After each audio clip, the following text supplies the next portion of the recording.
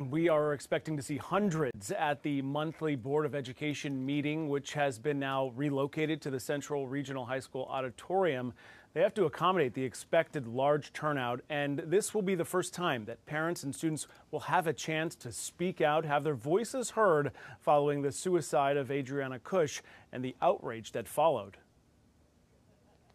I was told to kill myself every day. It was mayhem. Former students and staff at New Jersey's Central Regional High School speaking out about the culture of bullying that's festered for decades. When you cultivate this craziness over decades, this is the type of thing that you get.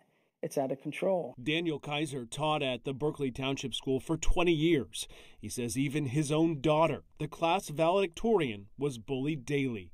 My one daughter even had to eat lunch with me every day because when she walked in the cafeteria, they would all chant this same word over and over again. She just couldn't be there. He, along with former student Darren Arnold, appearing on News Nation's Cuomo, detailing their pleas with administrators they say went largely ignored. I was actually grabbed by my hair and thrown down a stairwell by another student mm. my age. I was kicked in the ribs and punched in the face both joining the chorus of current classmates who've been brutalized by bullies since student Adriana Kuch died by suicide earlier this month. I'm going to get justice for every victim of that school because I never want this to happen to anyone ever again. Four teenage girls have been criminally charged by the Ocean County Prosecutor's Office for a hallway fight that likely pushed Kuch over the edge the district superintendent then resigning after he reportedly blamed the victim for her own death.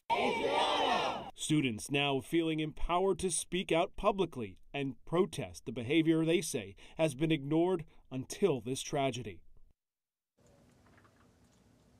Well, four teenage girls have been suspended and also criminally charged in connection to the bullying of Kuch, but have yet to appear in court.